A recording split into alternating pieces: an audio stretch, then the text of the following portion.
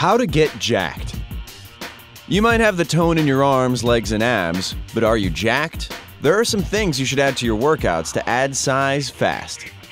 You will need isolation exercises, food, carbohydrates, determination, cardiovascular exercise, and willpower. Optional protein, and variation.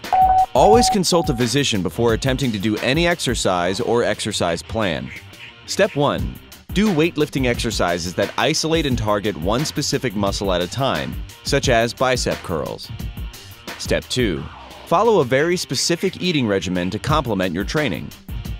Your muscles need something to work with in order to grow. Consume 20 to 30 grams of protein during the day. Step 3. Take in carbohydrates before a workout to fuel yourself so that your workout can be more intense. Then have more carbohydrates afterward to recover. Step 4. Concentrate on slowly lowering it to complete the exercise. The longer you take to lower the weight after lifting, the harder your muscles work. You'll also burn extra calories. Your muscles can get used to doing the same routine over and over. Make them work harder by varying your exercises and the sequence in which you do them.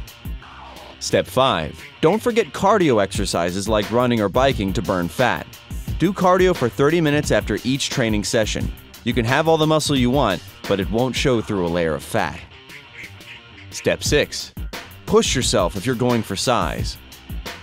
Once you're in shape, when you try to bulk up, it is recommended that you lift until you just can't lift anymore. Do a set and then immediately begin the next set.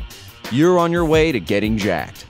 Did you know Bruce Wilhelm won the first ever World's Strongest Man competition in 1977?